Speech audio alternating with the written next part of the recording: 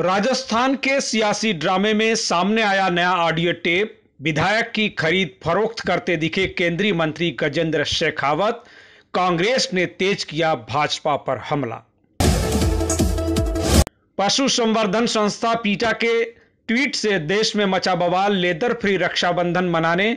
पीटा ने किया था आवाहन। लोगों ने पूछा सवाल, कहाँ बनती और बिकती है चमड़े की राखियाँ? पीटा ने गायों की फ़ोटो लगाकर किया था पोस्ट, हिंदू संगठनों का विरोध गरमाया। महाराष्ट्र की कांग्रेस खेमे की मंत्री वर्षा गायकवाड़ ने छेड़ा बेतुका विवाद। बोली, मुसलमान देशभक्त नहीं हो सकता ऐसी सोच गलत। आज़ादी की लड़ाई में मुसलमानों ने भी लिया था हिस्सा। मुस्लिमों के साथ धार्मिक भेदभाव का छेड़ा राग। पण आपल्याला मला एकही सांगायला हवं की सोलापूरचे चार जे हुतात्मे झाले ज्याच्यामध्ये कुर्बान हुसेन असतील श्री जगन्नाथ शिंदे असतील मल्लप्पा घनशेट्टी जे असतील किंवा हसन किसन सरडा जे असतील या सगळ्यांनी जे आहे या देशासाठी बलिदान केलं. त्यांच्या सगळ्यांनी जे आहे ते आपण कोणत्याही व्यक्तीला मुस्लिम समाज किंवा असं न करता या सगळ्यांनी देशासाठी प्राण आपल्यासाठी दिलेले आहेत. या सगळ्यांचा सन्मान आपण केला पाहिजे. आणि हा जो लेख लिहिलेला आहे हा यदुनाथ तत्तेजींनी लिहिलेला आहे ज्यांनी त्या लेखाचंच नाव लिहिलंय की माझ्या देशावर माझे प्रेम आहे. भारत चीन सीमा पर पुल बनाते वक्त शहीद हुए जवान सतीश पेहरे, महाराष्ट्र के जालना में राजकीय सम्मान के साथ हुआ अंतिम संस्कार, लॉकडाउन के बावजूद अंतिम दर्शन के लिए उमड़ी भीड़, सतीश पेहरे जिंदाबाद के लगे नारे। नवी मुंबई में 400 से अधिक जर्जर इमारतों के गिरने का बढ़ा खतरा, भाजपा विधायक मंदा मात्रे ने कमिश्नर अभिजीत बांगर से मुलाकात कर पूछा, कहाँ है इंतज़ाम? तत्काल ट्रांजिट कैंप बनाने की मांग, मुंबई में बिल्डिंग गिरने के बाद बढ़ी चिंता।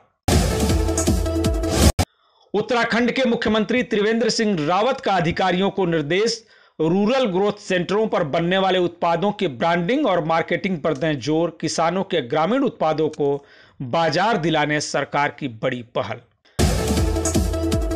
उत्तराखंड में 2021 में लगेगा महाकुंभ। महामेले की तारीखों की अखिल भारतीय अखाड़ा परिषद ने की घोषणा। संतों ने कहा, किसी भी कीमत पर नहीं टाला जाएगा कुंभ मेला।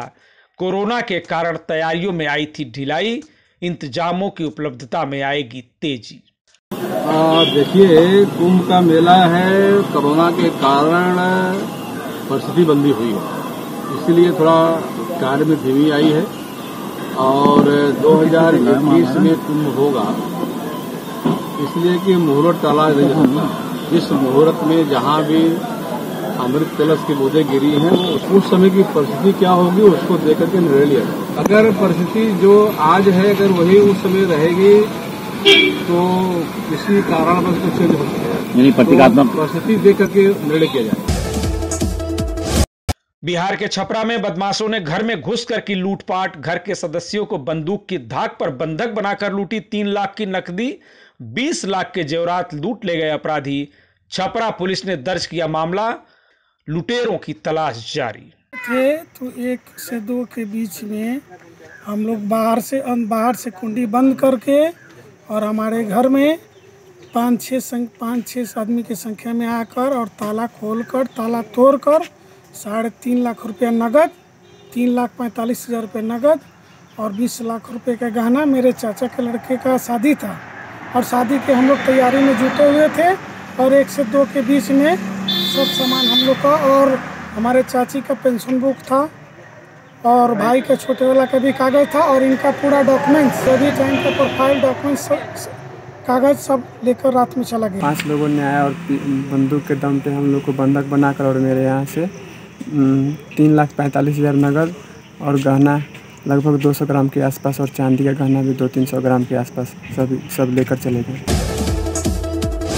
बिहार के नालंदा में हड़ताल पर बैठे एंबुलेंस कर्मी पुलिस पर बदसलूकी का लगाया आरोप। दोषी पुलिसकर्मियों पर कार्रवाई की मांग आरोपी पुलिस वाले बोले आरोप है निराधार नहीं की कोई ज्यादती। प्रशासन मुर्दाबाद। मुर्दाबाद मुर्दाबाद। पुलिस प्रशासन मुर्दाबाद। मुर्दाबाद। मुर्दाबाद भाग्य कार्रवाई नहीं होता है सस्पेंड नहीं होता जब तक 102 एंबुलेंस कर्मचारी अनिश्चितकालीन के लिए हड़ताल में रहे। भागन बीघा के पुलिसकर्मी थे और मारने का वजह था सिर्फ़ मनमानी। उनका कहना था कि जो हम कहते हैं वो सुनिए, नहीं तो हम मरेंगे। दम वहाँ पे इस तरह का मारना चालू कर दिए, जैसे किसी मुजरिम को मारा भी नहीं जाता है। इस तरह हमारे कर्मचारियों के साथ दुर्व्यवहार किया गया है। प्रतिदिन नालंदा जिला में, जो कि नीतीश कुमार का गृह जिला है, और एंबुलेंस कर्मी इतना अपने इस कोरोना महामारी में इतना ज़बरदस्त सेवा देने में अग्रसर हैं, उसके बाद भी पुलिस नालंदा जिला में दो दो बार कर चुकी है। और ये जो है, बहुत निंदनीय है। इसका हम निंदा करते हैं और मैं अपने संगठन की ओर से आह्वान करते हैं कि जब तक उस पुलिसकर्मी पर कार्रवाई नहीं होगी, तब तक हमारे 102 एंबुलेंस कर्मी हड़ताल पर रहेंगे। बिहार के मोतिहारी के डुमरी बैजू गाँव में लगी भीषण आग, कई घरों में लाखों की संपत्ति जलकर खाक पीड़ित परिवारों ने की सरकार से मदद की अपील। बाढ़ और लॉकडाउन में नई मुसीबत से भूखमरी की नौबत। जो हम लोग खाना खा करके सोते हुए थे, अचानक आ गया दुश्मनी से आग लगाया गया। कुछ कारण का पता तो यही है कि दुश्मनी से जो है सो भी आग लगाया गया।